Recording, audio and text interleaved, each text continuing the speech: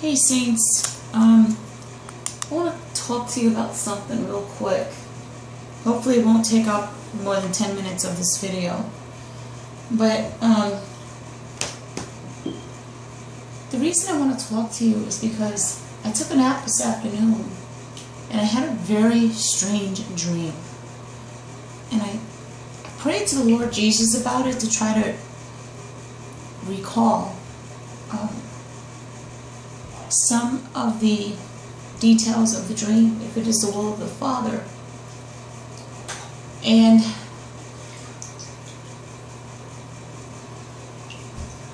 I remember, ladies and gentlemen, some vivid details about this dream. I know it was black outside and it was very cloudy. And one of the things I remember is that um, there were various types of demons. At first, I saw what it looked like. There was a lot of fire around these demons, and meaning like the sky was black, those black trees that were burnt, sky was red, red as well.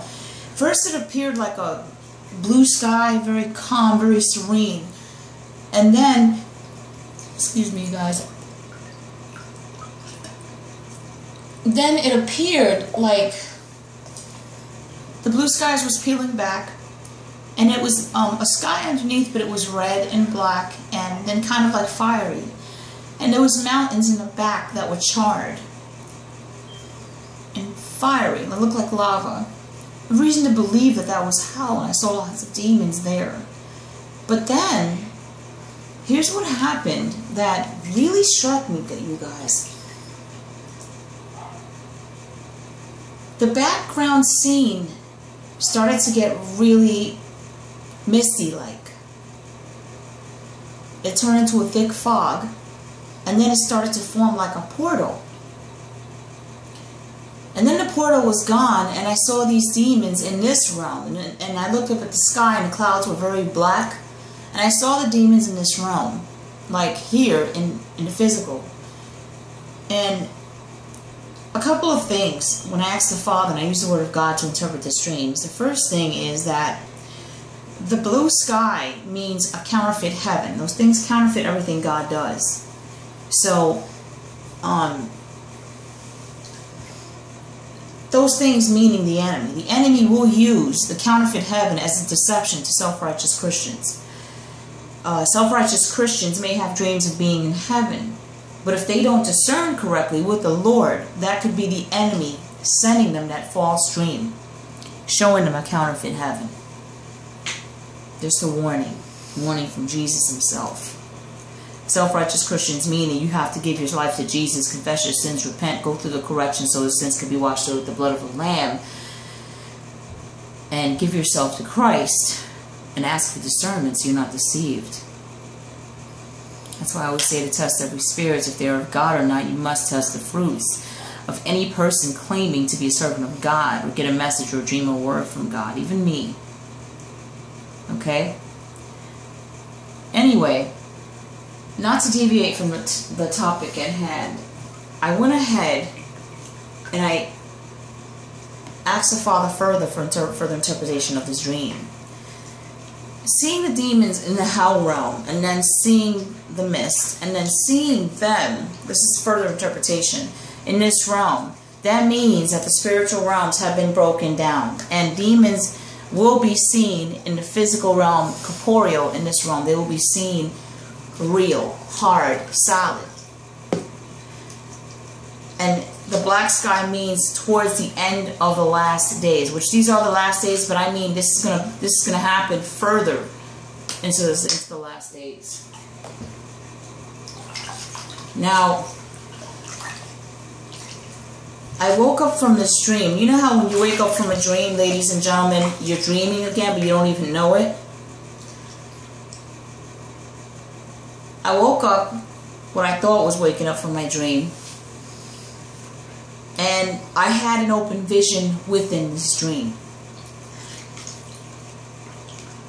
I'm standing in my bedroom window looking outside and I see jets flying overhead, many jets. I looked at the emblem, ladies and gentlemen, and they looked like Chinese, Iran, Russia, Turkey. Some even looked like the ISIS Islamic group. I, you know, ISIS, it looked like that.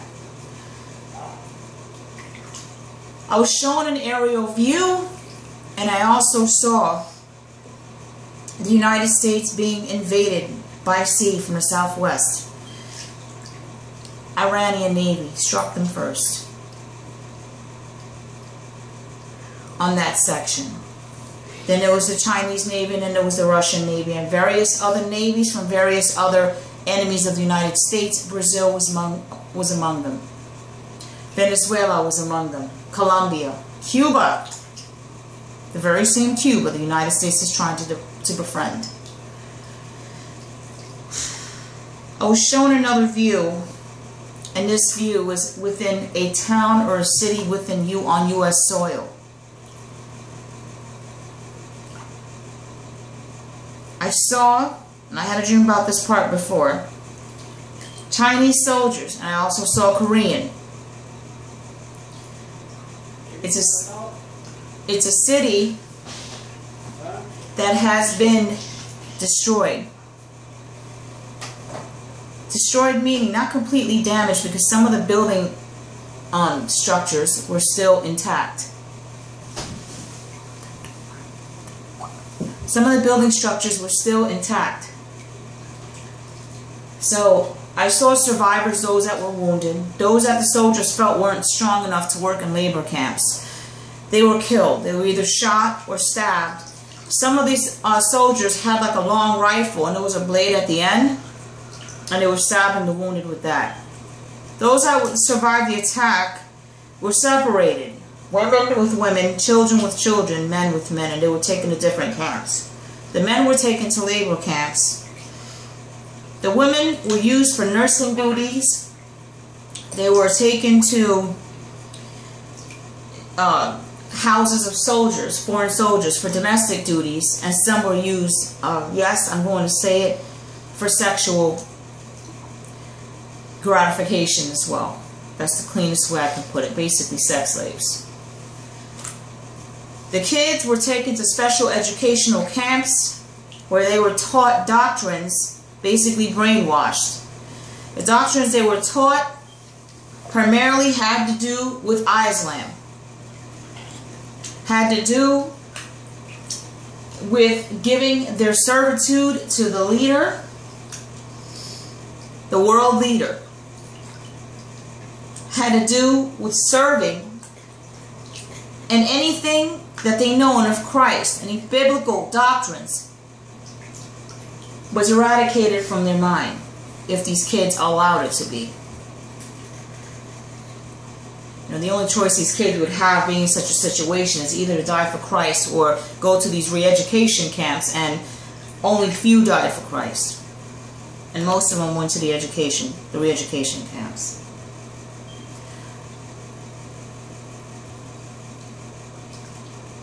I was taken into a different era.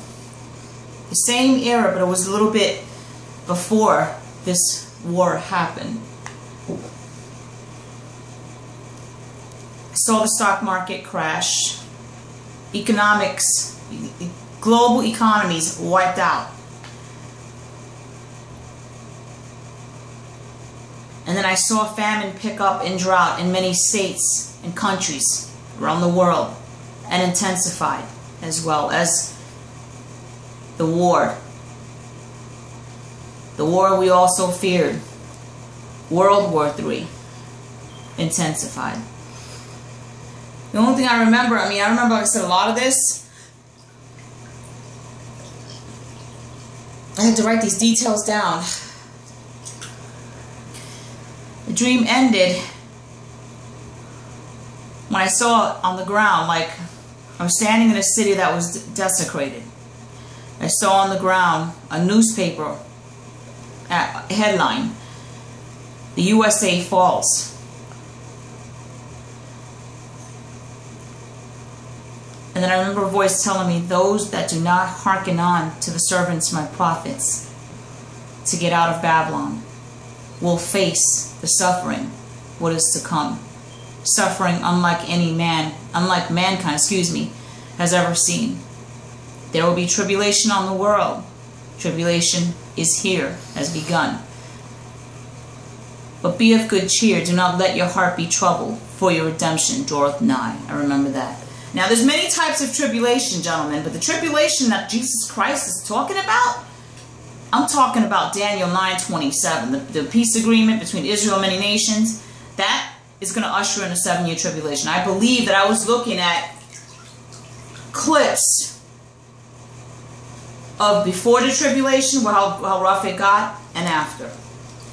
So, as always, take this to Jesus Christ in prayer. Don't take what I say at face value. Do not believe what I tell you. You must seek the counsel of Jesus Christ.